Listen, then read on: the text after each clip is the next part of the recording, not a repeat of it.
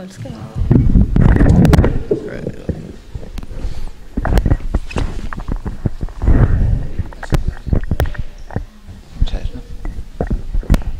Bueno, jo tinc una pregunta referent al, al tema aquest que hem comentat una mica de, del temps lliure, no? de, de que vivim treballant i l'altra part del temps l'hem de dedicar a consumir, eh, i relacionat sobretot amb la institució. No? Ara hem, hem viscut un procés bastant gran d'institucionalització i crec que la CUP encara no ha resolt, o, o moltes candidatures municipalistes no han resolt el tema de, de que estem vivint en un món capitalista estem jugant amb les seves normes, però alhora volem implantar el nostre model, no? i això porta a, a, a equívocs de, de que estem a les institucions, hi ha candidatures que creuen que hem de tenir un treball remunerat per ser-hi, per poder-les canviar, per tenir les mateixes oportunitats, per poder combatre el seu model, i gent que pensa que no, que precisament la base del municipalisme també és un treball en benefici comú i que per tant no, la, la gent que està a les institucions no hauria d'estar cobrant precisament per aquest procés de professionalització. Llavors és com és complicat no? gestionar, voler transformar o destruir una institució quan alhora no estàs en les mateixes igualtats que aquells que estan jugant al joc de la pròpia institució. No sé si s'ha entès més o menys, però bueno, era un, una reflexió que no sé si hi ha resposta o no, però...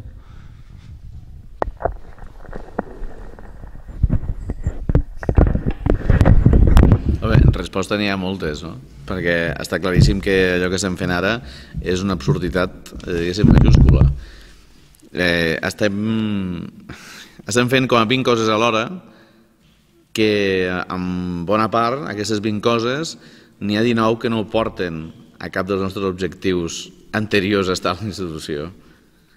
I perquè, clar, la institució eh, requereix una especialització, i aquí està l'absurditat, per tal de eh, eixamplar els seus límits, que és allò que, que busquem, però buscant aquest eixamplament de límits, aquest acabament, diguéssim, de, de corrupció, aquest munt de coses que estem fent, que bé, jo no recordo eh, cap eh, Assemblea Nacional de la CUP ni pràcticament de cap moviment social, tot i que és una cosa que segurament sembla estrany, que es decideixi que un dels principals objectius nostres sigui perseguir la corrupció. Tot i que això és una cosa, diguéssim, que ja queda com assumida, però estem...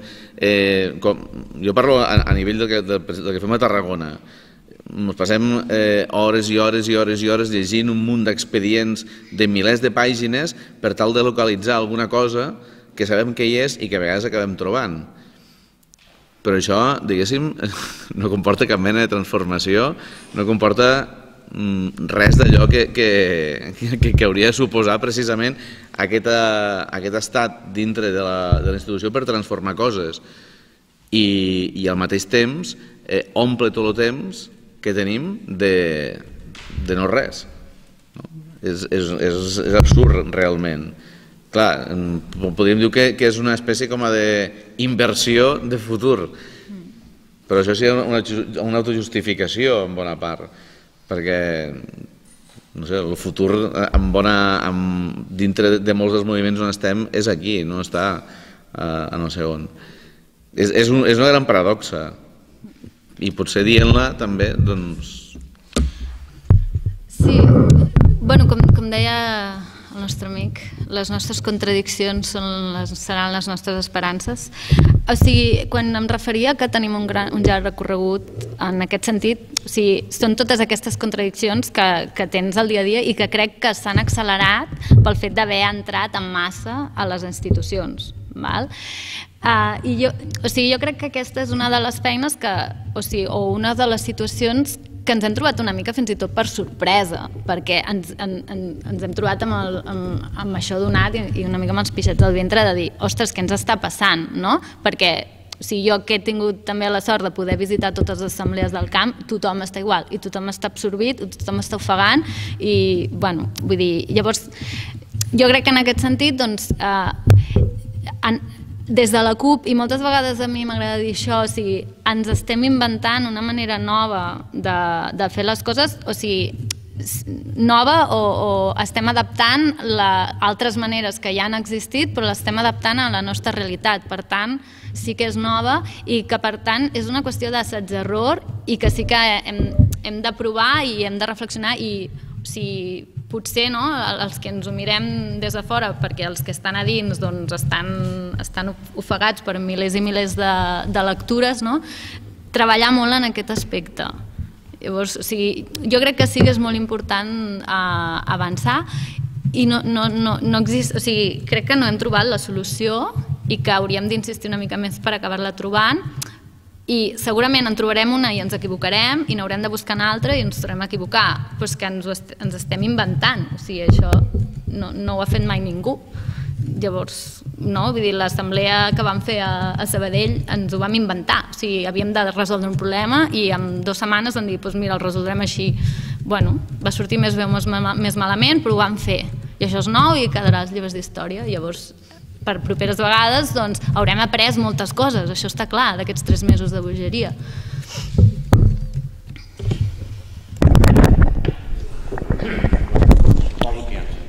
Sí, però Ah, vale. A veure, mm, està molt bé la crítica que es fa a les institucions, però a veure, les institucions no són ni bones ni dolentes per si. El que és dolent és l'ús pervers que se'n fa de les institucions.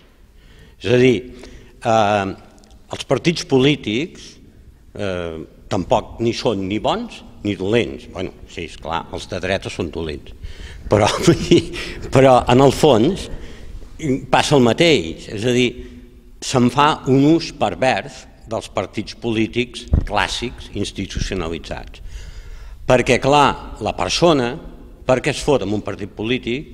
Els partits polítics, per què es foten a les institucions?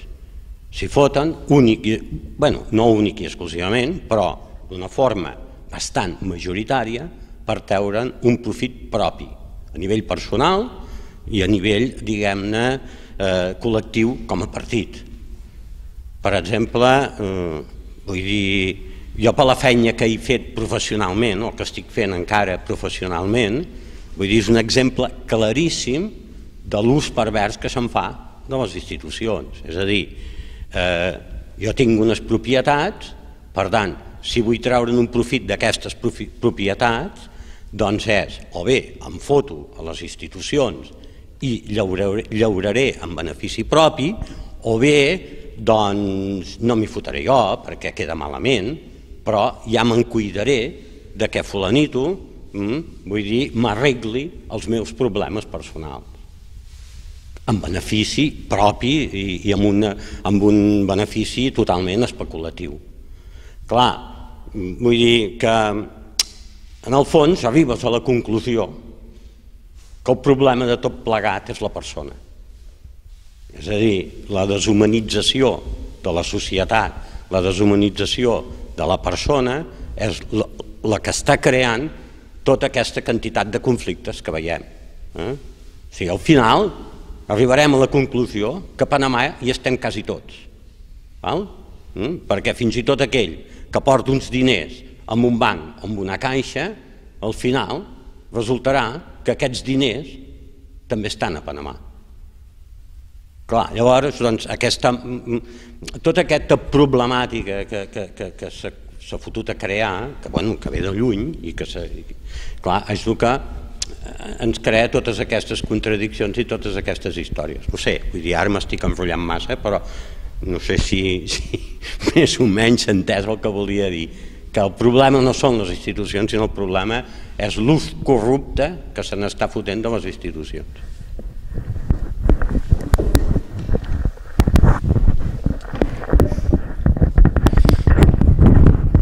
Veus, eh, jo no estic d'acord del tot. Que jo no estic d'acord del tot. Perquè el problema no és la institució, però sí l'estructura que té la institució, que evidentment és una estructura creada per humans que estan allà. I hi ha estructures que, que són completament recuperables, això està claríssim. els ajuntaments tenen una estructura que és completament modelable i que, per tant, pot arribar a...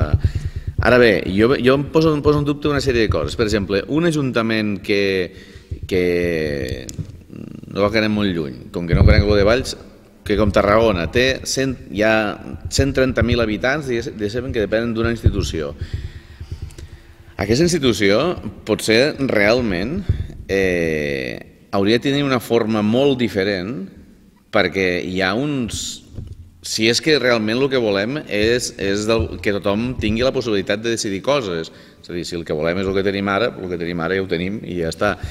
Però eh, hi ha unes quantitats de gent en què l'estructura general hauria de variar, precisament per tal de, de fer arribar la possibilitat de poder a cada, a cada una de les persones, perquè això del, del poder popular que anem escrivint per tot arreu i que ningú sap la forma que té, però que en certa manera deu ser el poder del poble, no? el poble que conformem totes i tots, doncs el poder hauria d'estar en mans de, de totes les persones. Per fer això, l'estructuració ha de ser diferent. I evidentment, això és, és veritat, o sigui, eh, no cal citar-lo, però bueno, Puigdemont diu, diu, ell, ell diu, diu, aquests anarquistes que volen destruir eh, la institució com a tal no saben mm, res del món perquè precisament una de les coses que li passa a, a bona part de, de és molt, molt seguidor de les teories de Kropotkin i d'allò, és l'adequació a cada un dels canvis que es produeix als, a les societats animals, és l'adequació a cada un dels canvis que es produeixen. I el que hem de, de buscar precisament és l'adequació al canvi que volem produir. I això, evidentment, suposarà un canvi, suposa un canvi important de les institucions. Jo no desconeixia el reglament dels guiamets, però que s'ha de fer propaganda d'ell, no és veritat, perquè és, és igual que, que, el, que el tema que, que he citat abans de les municipalitzacions d'Arenys de, d'Arenys de Munt, que, que va haver un dia que algú les va explicar i van dir, això ho va fer la CUP. I, i era fortíssim perquè havia passat com a un any i ningú ho sabia. A vegades ens passa... Això són canvis estructurals, perquè en aquell cas eh, desobeir l'Arsal que és una de les coses que, que tots els ajuntaments haurien de fer ja i que és veritat que ningú no ha fet i, i mentre això no passi aquesta llei no petarà perquè el, el PSOE no la canviarà i mentre aquesta llei no, no, no canvi els ajuntaments com a tals no existeixen perquè són projeccions d'allò que, que hi havia abans, quan hi havia possibilitat, per exemple, de contractar gent en funció de les necessitats de personal. Avui això s'ha acabat. Quan s'acaba una plaça no hi ha reposició i, per tant, si aquí és un dia eh, se jubilen tots els conserges dels, dels col·legis, el que haurà de fer l'Ajuntament serà subcontractar el servei no pot contractar ningú per llei, però això s'ha de desobeir. I, i ja fa massa que dura aquesta llei. I és veritat, no hi ha casos de desobediència amb aquesta llei. El PSOE va dient que la tiraran enrere i tal. Tornant al que d'allò, jo penso que l'estructura sí que s'ha de canviar i que, i que aquest canvi ha de ser un canvi radical perquè comporti una forma de funcionar completament diferent, d'apoderament completament per part de tothom, que això és un altre tema, de part de tothom vol dir que molt possiblement els nostres projectes tal com els pensem o tal com els d'allò, no serà exactament així. Que això és l'altre tema. El consens comporta això, però, però tot això requereix escoles de formació com, com les que acostumem a tenir en, en molts àmbits. O sigui, eh, Imagineu-vos l'assemblea aquella que van fer a, a Sabadell, organitzada pel PP. No haguessin empatat, està clar. No, no haguessin empatat, haguessin quedat eh, 95% contra el 5%, o, bueno, o, o altres d'allò. Però perquè, perquè, tot i que no en sapiguem molt, sí que la nostra cultura política té un, un, altre, un altre paràmetre completament diferent. I, i, i clar, el problema està és que aquesta cultura política està estesa dintre d'un àmbit petit i, i l'important és contagiar molts més àmbits i per això és imprescindible utilitzar el fora, diguéssim, no de la institució, sinó també fora, diguéssim, del nostre àmbit directe. Perquè bona part de la societat s'organitza d'aquesta manera, encara que a vegades no, no ho veiem, perquè els mm, claustres de, de, de les escoles, eh, les reunions de veïns, eh, tots no, eh? però, però en molts casos no parteixen del fet que hi ha un que mana i diu jo que represento vosaltres 10 i per tant tinc el vostre vot. I no, o sigui, hi ha, hi ha un diàleg i hi ha una forma de fer. Això també és institució.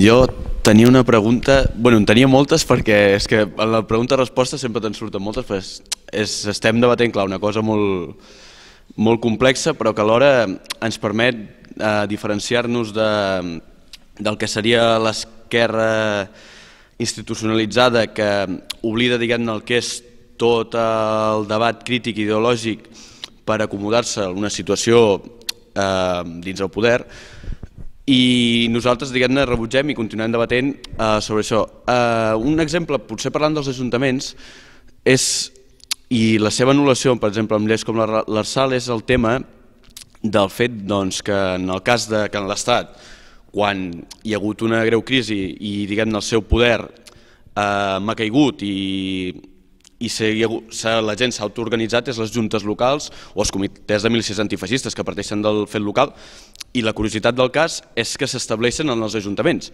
perquè identifiquen aquella casa com el Palau d'hivern aquest que han assaltat i que rau el poder però que el poder potser no és, no és una idea, és el poder, o sigui, és una idea però el poder és útil quan s'exerceix, no? El fet d'exercir el poder és el que et don el significat de la cosa. Uh, segurament no sé quin seria el nostre paper, sinó que el nostre potser seria entrar exercir aquest poder, nosaltres anem a... Uh, no sé si seria... O sigui, anem a crear poder, anem a, a fer un procés potser constituent, és a dir, partint de la, del poder que té el poble a l'hora de fer les coses, anem allí eh, amb aquests nous espais de poder que qüestioni aquest poder i al poble a nosaltres és, és més fàcil perquè, per exemple, en altres partits de base del CUBE doncs, coneixem a tothom. I clar, coneixent a tothom doncs, estàs lligat a, que pots trencar molts rols del poder tradicional, de tradició, de dominació burocràtica, de, de carismàtica, anem a construir hegemonia, de parlar amb la gent i transmetent un missatge que lliga potser amb aquesta realitat de les persones eh, que la institució no els soluciona aquest problema. Per tant, és, clar, és una reflexió i la pregunta seria... Mm, és a dir, el, més enllà del joc de les eleccions dels 4 anys que estem participant, eh, si nosaltres tinguéssim el poder o, o, siguéssim, o haguéssim assaltat aquest palau d'hivern, aquest joc de les eleccions com ho transformaríem això dels 4 anys? És a dir, és evidentment que és un joc de, de, que va justificar i a, i a diguem-ne assegurar i a legitimar el que s'està fent. Per tant, què, mm, en el camp l'àmbit municipalista, és a dir, imaginem-nos, estem en un ajuntament i diem, eh, per tant, això dels 4 anys, això en mi no, no m'hi va. Què?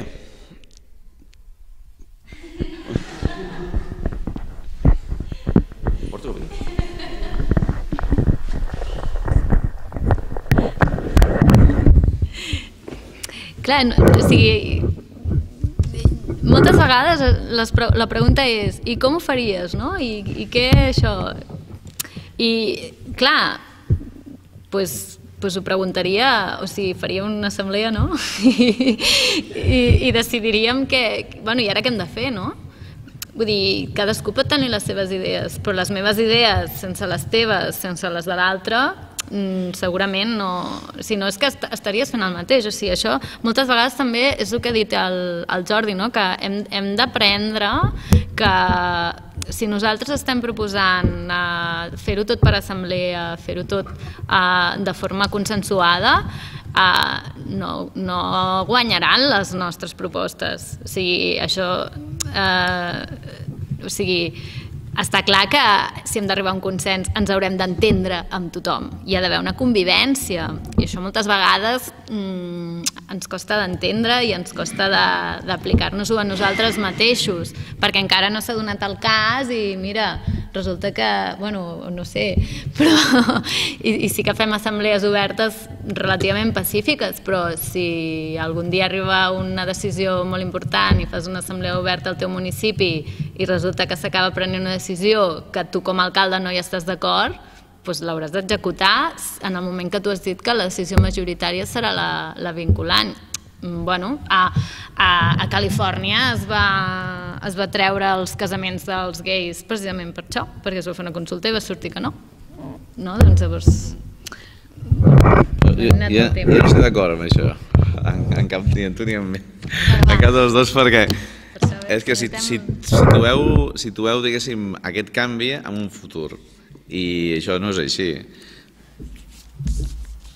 Des de la creació de les caixes, i parlo d'economia només, i d'economia d'estalvi, d'algunes d'elles, 1917, hi ha una vaga general revolucionària i es fa una caixa de resistència i aquesta caixa de resistència, a través d'un procés complex, acaba en mans d'una sèrie de lladres directament de Terrassa que constitueixen, en, amb altra gent, una cosa que amb els anys s'acabarà dient eh, Caixa de Catalunya i avui és Banco de Vizcaya. No? Mm.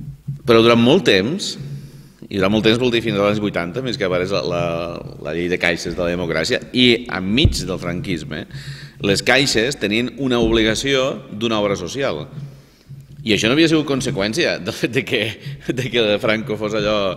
No, havia sigut conseqüència que la seva creació responia a un objectiu social. És a dir, l'estalvi responia a que una part d'aquest estalvi havia d'anar destinat a un, a un fet social. I a un principi era més important i es va anar reduint, però a Falset, al Priorat, l'única biblioteca pública que hi ha que, i que hi havia, perquè avui he canviat ja de gestió, la va quedar la caixa de pensions. No perquè els de la caixa fossin bons, sinó perquè resulta que tenien l'obligació, perquè a un principi les caixes tenien això. No és així la, amb la banca, però el model de caixes era un model mm, principatí bàsicament, a nivell d'estat espanyol, majoritari aquí, com a conseqüència d'un procés. I aquest procés avui l'estem també vivint d'una forma diferent, perquè ja sabeu com va acabar el tema de les caixes, no? amb aquests, aquests, mm, aquestes reunions de caixes que hi havia gent de Montblanc que cobrava 20.000 euros per tres reunions a l'any i gent molt d'esquerres, eh? perquè els, els capos de les caixes doncs, eh, se van acabar, diguéssim, inflant de pasta i, eh, tot i defensar públicament l'obra social, sucumbint a l'última llei de caixes. Però això ho hem vist mm, recentment, és a dir, no fa 100 anys això. Però avui mateix, i això és important, o sigui, avui s'està construint una banca cooperativa aquí, que no teníem als anys 70, per exemple. Com 57 és una banca cooperativa, treballadors de Bruguera agafen la seva indemnització, 57 persones concretament, que Bruguera tanca, i en lloc de gastar aquests diners fent, fent una mariscada o, o fent un xalet entre dos, decideixen crear un banc, un banc, una, una, una cooperativa de crèdit, i avui COP57 existeix, però també existeix FIARE, i també existeixen altres coses que són diferents però que, que no són iguals que el sistema, eh, estic parlant només del sistema, diguéssim, de, de, de crèdit i del sistema d'allò. Això està passant avui aquí i això és, una, això és part de la història nostra, constitutiva. El casal d'Espertaferro sense COP57 no existiria tal com el coneixem perquè precisament mm, se va pagar i s'està pagant amb diners d'un crèdit fet a partir de l'estalvi cooperatiu. Estalvi cooperatiu vol dir que tots els socis decidim a on van els diners. I això és una forma d'estalvi que doncs, és minoritari avui, però no tan, en cop ha hagut de, de tancar l'entrada de socis, perquè amb, amb el merder de les preferents, moltíssima gent va dir fora de la banca tradicional i va tindre tanta afluència de gent que, que, que ha hagut de, de, de, de, de ei, màxim d'imposició 15.000 euros abans no hi havia límit i, i, i que no vingui tanta gent perquè no sabem en què gastar els diners. Tot i així, si, mireu el butlletí que, que publiquen cada mes o cada dos mesos, no sé quan arriba allò, de color groc, eh, els projectes són centenars i tots responen a la construcció d'un espai que eh, abans no existia. Avui tenim 100, bueno, 110 o 120 ja, 110 casals i ateneus que han, han de tindre clar que això existeix i això no és, no és una anècdota, eh? o sigui, és un fet històric transcendental. Sense tot, aquest, sense tot això que estic explicant, no hi hauria ni CUP ni hi hauria res. Però, bueno, igual algun poble s'ha presentat al CUP i ha sortit, però, però no hi hauria aquest... El que passa que el nostre moviment respon a una forma de moviment, i estaria bé que ho entenguéssim d'una vegada ja, que, eh, que no és orgànica. Això és així. O sigui, no perquè jo, que sóc anarquista, eh, ho digui, sinó perquè analitzant els últims 30 anys en aquest país, veiem que el moviment mm, tal com s'ha construït ha sigut a partir de l'adhesió, no a partir d'algú que diu ha d'haver una sectorial... Això també hi és, eh? no, un, no sé què, no, no, o sigui, aquí la gent ha anat creant coses i la cosa bona és que, com a mínim des del 1996, no mos matem entre nosaltres. Abans, eh, si, si, jo era, si jo era marxista de no sé quina tendència i tu eres d'una altra, mos tiraven pedres o sabates. Eh? I avui això més o menys ja no passa, més o menys. Vale? I, i, I això és, és superinteressant. I, i, i, o avui mateix tenim una forma de governar, i també és important veure-ho, que no està ni a les institucions. Perquè eh, quin partit d'esquerres avui seria capaç d'agafar i treure un, un decret com els decrets aquests de la pobresa eh, energètica, eh, la sanitària i d'allò, quin partit ho podria fer això? I que quan el PP digués la tiro enrere, eh, la gent se mobilitzés i digués no, si tires enrere això, eh, pillaràs. Que és una forma de ningú, però la pau pot fer. I la pau sí que és conseqüència, evidentment, d'una taja financera i tot el que vulguis, però independentment d'això, la construcció d'aquest contrapoder, això mos ha de, de, o sigui, ha d'obrir una mica la vista, que el moviment que tenim al davant és molt complex i molt, molt ampli. I les coses més potents que té és que eh, li, li, tots els regidors i regidores defensem eh, les mocions que ens porta la PA. Hasta el PP de Tarragona ho defensa, eh? I, i allò no està al seu programa. No està al seu programa. Però clar, el, exerceixen com a institució, així de clar. I, i hi ha institucions que no són l'Ajuntament, que no són, ni, ni el, no són el Congrés ni són el Parlament, però existeixen. I a més a més tenen conseqüències claríssimes i reals. I clar, jo penso que seria importantíssim que això ho analitzés algú més enllà de les proclames que, que, que pugui fer algú des d'una taula d'allò. Però la barreja de tot aquest munt de coses és, és bàsic per entendre on estem. No, ningú pot, ni Barcelona en Comú pot explicar a si mateix sol, ni, ni, ni la CUP pot explicar a si mateix sol, ni, ni, ni l'esquerra independentista pot explicar a, a si mateixa sola. Ningú pot explicar a si mateix sol, perquè el que han aconseguit és una interconnexió d'un munt de coses que cada un treballa a la seva banda i, i d'allò, però que la interconnexió hi és. I això és la, la cosa més potent que tenim avui. Ara, eh, com evolucionarà això és molt complicat de, de veure-ho i conèixer-ho. La xarxa de microcontrapoders. Sí.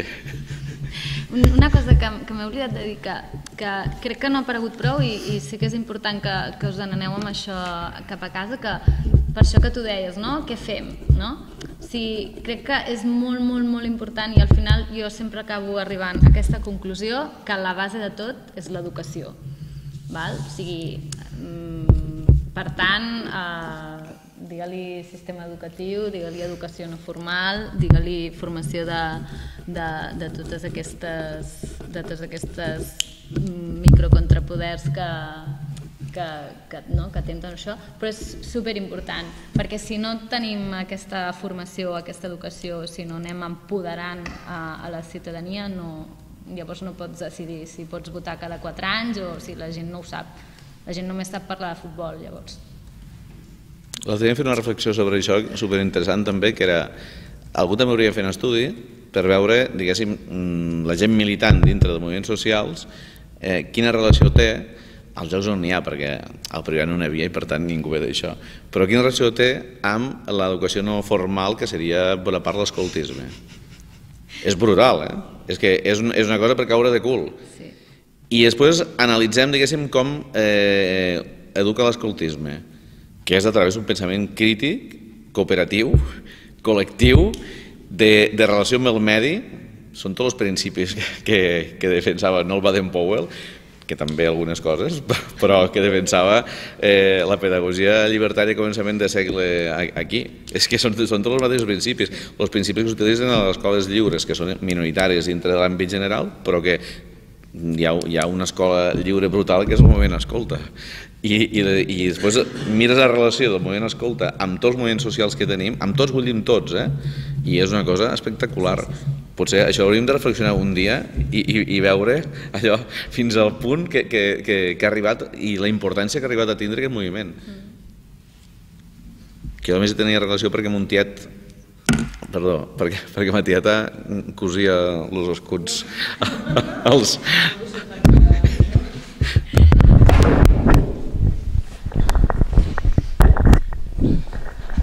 volia fer, una, volia fer un apunt respecte al que has dit, Lourdes, de, de l'educació i sobretot en el cas de que, que heu fet referència dels guiamets. Desconec, no conec gaire els guiamets, però no sé si hi ha gaires casics rurals, però l'experiència que jo havia viscut, que, que d'això hi havia més pobles que anys enrere es funcionava pel tema de prendre decisions en reunions de poble.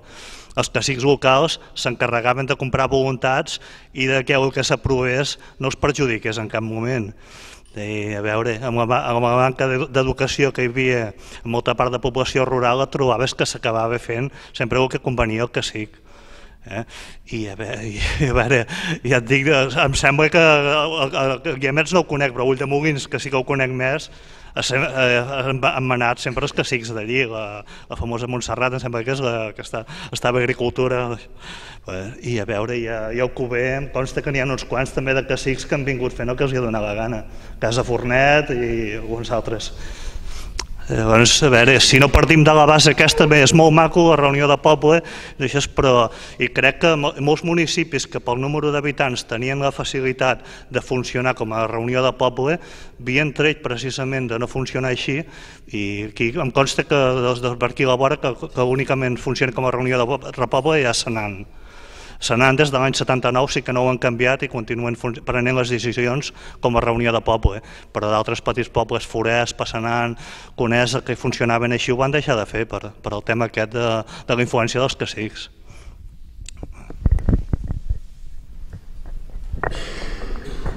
I a nivell de ciutat, com a mínim en Tarragona, que és el cas que jo conec, els cacics són uns altres, que són els representants del partit de l'Ajuntament dintre de cada un dels barris, que és qui acaba, sobretot a partir del 79, acaben dominant les, les associacions de veïns i descapitalitzant-les de, precisament de gent que el que volia, en bona part, és participar dintre de la ciutat de formes molt diverses.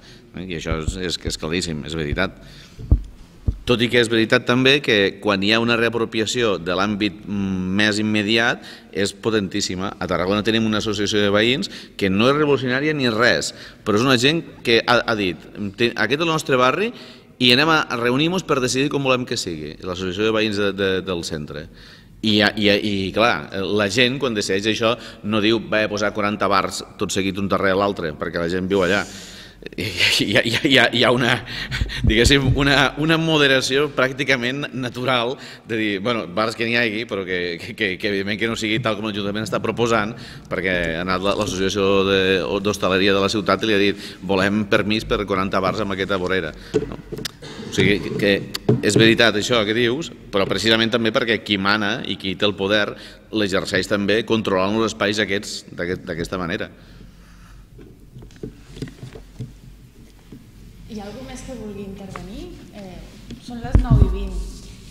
Per anar plegant. Abans que marxeu, us recordo que el diumenge us hem deixat uns flyers molt xulos a les cadires. Diumenge fem un acte vindrà el Sergi Saladí, l'alcalde dels Guiamets, el Miquel Parelló, i una de les nostres regidores aquí a l'Ajuntament de Valls pel tema dels requeriments que està enviant l'Audiència Nacional. Esteu tots convidats.